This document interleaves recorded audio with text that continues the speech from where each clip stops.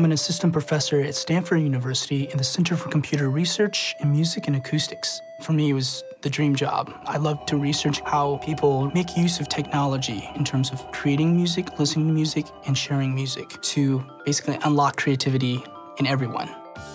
When I first started teaching, starting a company was certainly nowhere on the radar. And then the iPhone and the iPhone SDK came along. It was kind of the clincher for me to say, you know what, I want to bring visions of computer music research to the masses. So now I'm a co-founder and the chief creative officer at Smule. As soon as we got our hands on the iPhone SDK, immediately the wheels started turning in our heads of saying, how can we use the whole ecosystem of the iPhone platform to provide an experience that just wasn't possible before?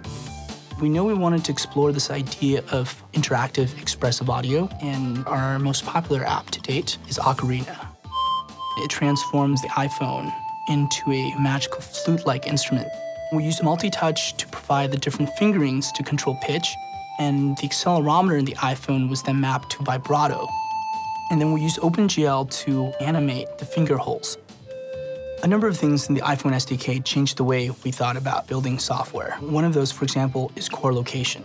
We use location to geotag people who have recently played the Ocarina. We can actually send that anonymously to the Smule cloud, as, as it were.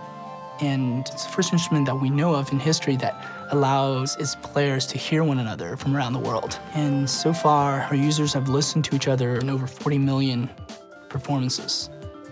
We're diving much more deeply now on the social component. In Leaf Trombone World Stage, our new app, not only can you play the instrument, and others can indeed hear you around the world, the app will gather judges to give you feedback and to give you a score. We believe this is just the beginning of a new revolution where people will relate to each other differently and people will express themselves differently, all facilitated by what we can do on this device.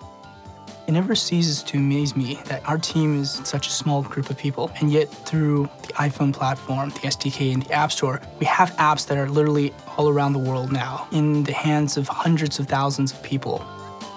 To tell the truth, we didn't really know what we were gonna do fully. And to this day, I would say there's a large component of not knowing.